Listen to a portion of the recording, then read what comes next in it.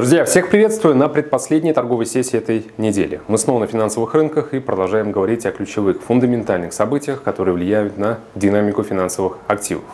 Не забывайте подписываться на наш канал AMarkets, оставляйте ваши вопросы в секции с комментариями и, конечно же, не забывайте ставить лайки.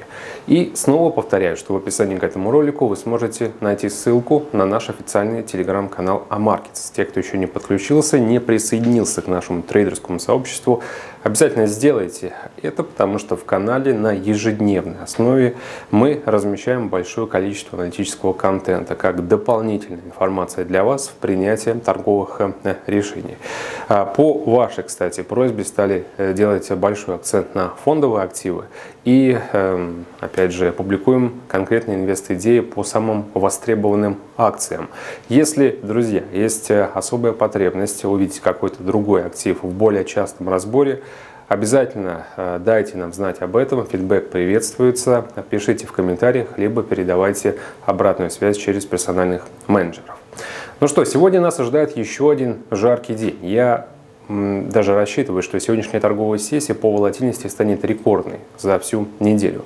Потому что помимо э, нескольких э, важных релизов, состоится еще два выступления – это в 18.00 по московскому времени выступление главы американского регулятора Джерома Паула. И в 20.00 эстафету у него перехватит э, глава Европейского центрального банка Кристин Лагард. За долларом и евро мы, конечно же, следим, как и все те, кто сейчас интересуется валютным э, рынком. Поэтому и доллар, и евро сегодня точно покажут э, очень динамичную торговую сессию. Единственное, что хочется напомнить вам, это о необходимости контроля рисков. Это, собственно, опять же, обязанность на вас, друзья. Риск-менеджмент, э, правила, там, загрузки депозита, в общем, классические вот эти подходы, которые вы должны использовать и применять, чтобы э, снизить э, риск спекуляций на финансовых рынках. Если для вас не совсем понятно, что такое риск-менеджмент, опять же, консультация с вашим персональным менеджером, который есть у каждого клиента компании Markets, вам точно поможет, и э, после этого у вас не останется никаких э, пробелов. Э, до выступления Паула, до 18.00 по московскому времени, мы будем следить за статистикой по инфляции в еврозоне в 12.00 по московскому времени. В частности, по прогнозам, сегодня Э, основное значение инфляции будет на отметке 7,5%. Это, разумеется, цифры прошлого э, месяца. Базовая инфляция также без изменений прогнозируется на отметке 3%. Но у нас очень хороший опыт э, и пример вчерашних данных по инфляции в Канаде, которые эм, вышли гораздо выше, чем прогнозировалось.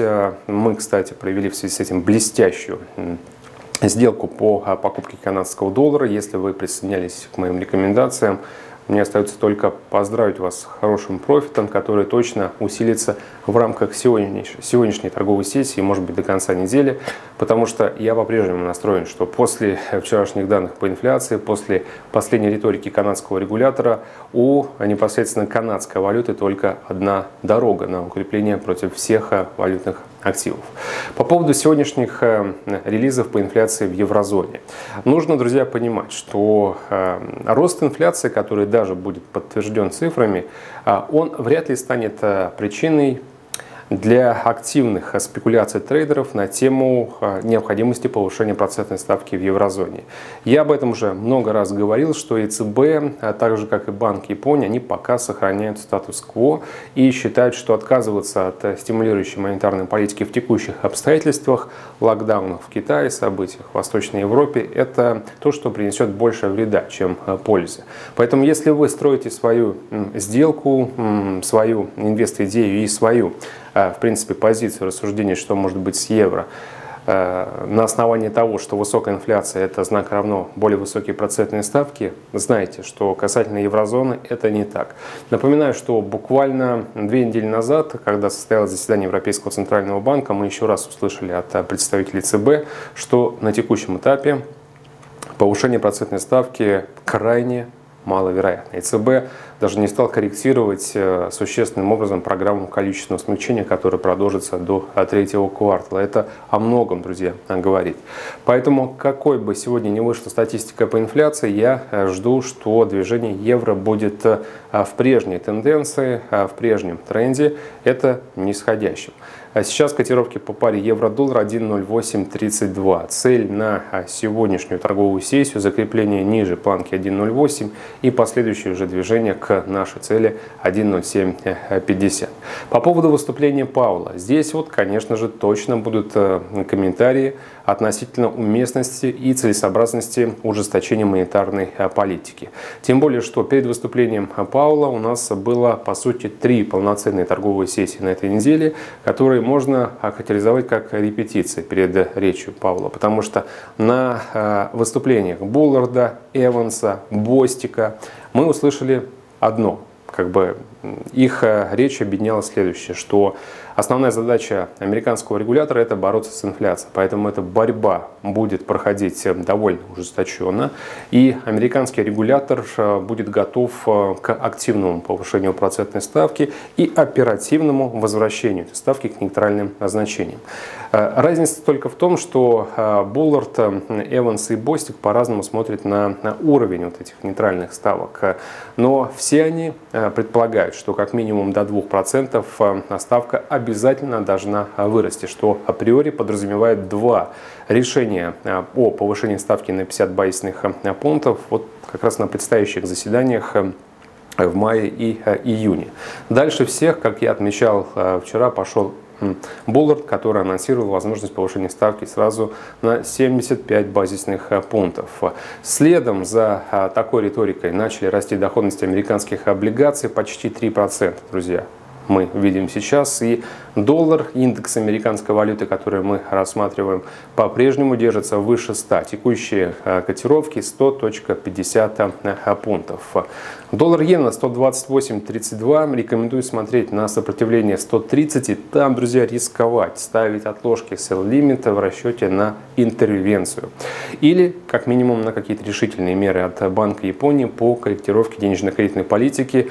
Но не для того, чтобы признать признать, что все, хватит тоже стимулировать экономику, а для того, чтобы остановить девальвацию национальной валюты, потому что за относительно короткий промежуток времени японская иена потеряла уже более 40%. И сейчас уровни, которые мы видим, это 20-летний максимум по валютной паре.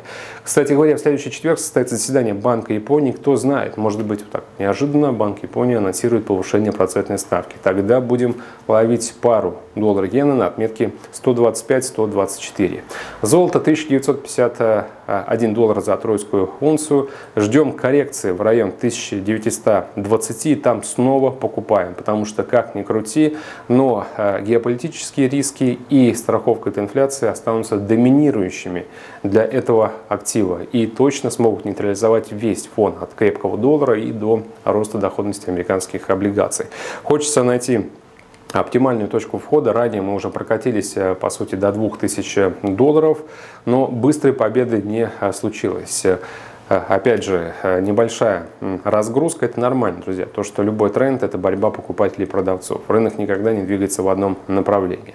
Самое главное – это умение находить оптимальных точек. И я думаю, что этой точкой и уровнем для золота является планка 1920. Нефть 108. Данные по запасам, которые э, вместо тех оценок, которые были, Против прогнозов, а, на основании которых запасы должны были показать рост, существенно снизились как от Американского института нефти, так и от администрации аналитической информации. Снижение запасов – это то, что сейчас а, вызывает очень много вопросов,